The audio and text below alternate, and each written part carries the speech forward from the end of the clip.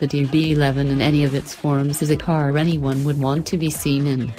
Classically proportioned yet entirely modern, it moves Aston Martin forward without breaking too abruptly with its past.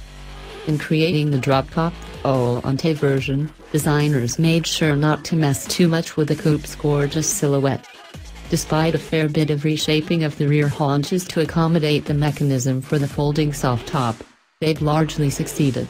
The Volante maintains the long, low, athletic stance of the coupe, and, when raised, the eight-layer fabric roof itself suffers none of what one Aston designer calls the soggy umbrella look.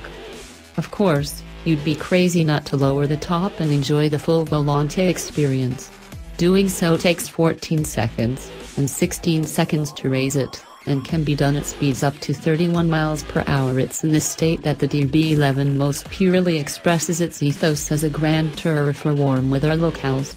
While many of today's automakers have misconstrued the GT name as some sort of hardcore high-performance suffix, Aston allows its DB11 to be a true GT car in the oldie tradition, with a compliant ride, a comfortable interior, and an effortlessly robust but not brutal amount of power. The last comes courtesy of a version of a twin-turbocharged 4.0-liter V8 sourced from Mercedes-AMG, here producing 503 horsepower and 498 pounds-to-foot of torque.